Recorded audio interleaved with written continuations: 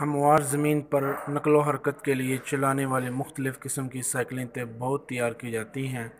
लेकिन अब एक मुनफरद साइकिल तैयार कर ली गई है, जिसे पानी पर जलाया जा सकता है। एक आम साइकिल की तरह बनाई गई